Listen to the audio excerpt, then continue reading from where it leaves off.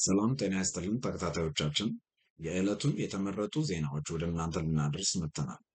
አብራችሁን ስላላችሁ ከልብ እያመሰገንን subscribe እያደረጋችሁ ትኩስ ትኩስ የሆኑ መረጃዎችን እንድታገኙ እንጋብዛለን።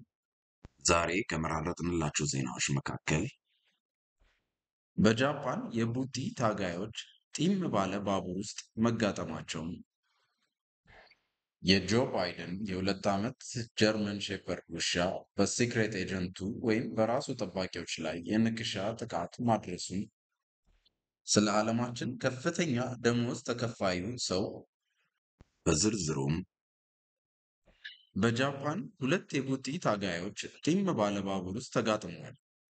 ጠባቡ የባቡሩ መተላለፊያ ያላቆማቸው ሁለት የጃፓን ተጋጣሚዎች በ180 miles per hour በሚሄድ ፈጣን ባቡር ላይ ተጋጥሟል። እናም ይህን ግጥሚያ ያዘጋጀው አካል ያልተለመዱ ቦታዎችን ለቡጢ ሲመርጥ ለመጀመሪያ ጊዜ አይደለም ተብሏል። ሚኖሩ ሱዙኪ እና ሳንሺሮ ታካጊ የተባሉት ተጋጣሚዎች ከጃፓናዊ የባለሙያ ትግል ማስታወቂያ ወይ DDT Pro Wrestling ጋር በመሆን እንደ አውሮፓውያን አቆጣጠር መስከረም 18 ቀን 2023 በጃፓን በተካሄደው የትግል ውድድር ወቅት ከቶኪዮ እስከ ናጎያ ድረስ በቶኪዮ ሺንሰን ፈጣን ባቡር ውስጥ ተጋጥሟል።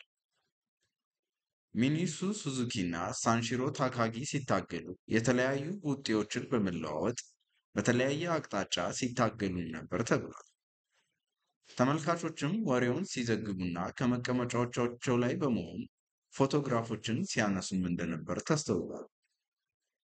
የማስታወቂያ ድርጅቱ ዲዲቲ ለጨዋታው ሙሉ የባቡሩን ፉርጎ ተከራይቶት እንደነበርም ተገልጿል። ጨዋታው ለ30 ደቂቃዎች ያህል ሲቆይ ሱዙኪ አሸናፊም ሆኗል። የማስታወቂያው ድርጅት ያልተለመዱ ቦታዎችን ላይ ትግል የማካሄድ ልምድም ያለው ሲሆን በመጽሐፍት መደብርና በካምፕ ውስጥ የቀድሞ የትግል ስፍራዎቹ ከሚጠቀሱ ናቸው። የጆ ባይደን የሁለት ዓመት የ German Shepherd ውሻ በ secret agent ኦች ወይም በራሱ ጠባቂዎች ላይ የንክሻ ጥቃት አድርሷል።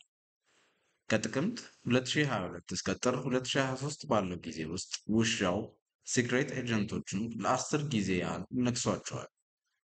አንዲት ሴት መኮንንን ፈጣን የሕክምና እርዳታ እንዲያስፈልጋትም አድርጓል። በዚህ ምክንያት የቀዳማዊት እመቤት ጂል ባይደን ቃል አቀባይ ኤልሳቤት አሌክሳንደር ውሻው አሁን በዋይት ሃውስ ውስጥ አለመሆኑን ተናግረዋል። ሁሉም ሰው ደህንነቱ የተጠበቀ እንዲሆን ቀጥሎ ምን ማድረግ እንዳለበት እያሰቡ እንደሆነም አብራርተዋል።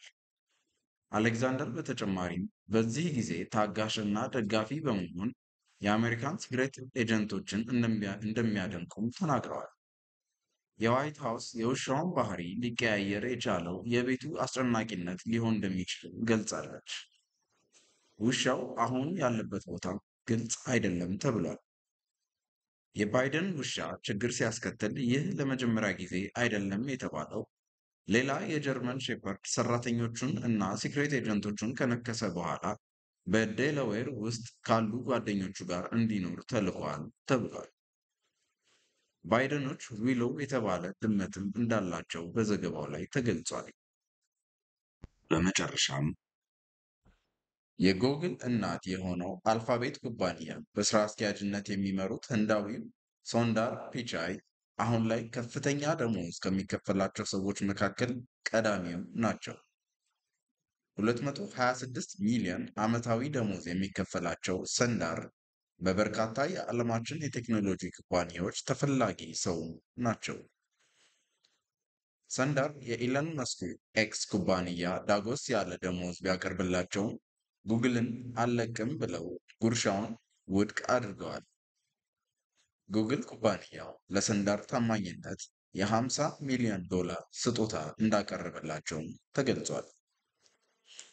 ውድ ተከታታዮቻችን አብራችሁን ስለነበራችሁ ከልብ እያመሰገንን like፣ share፣ comment እያደረጋችሁ አስተያየቶቻችሁን አድርሱን።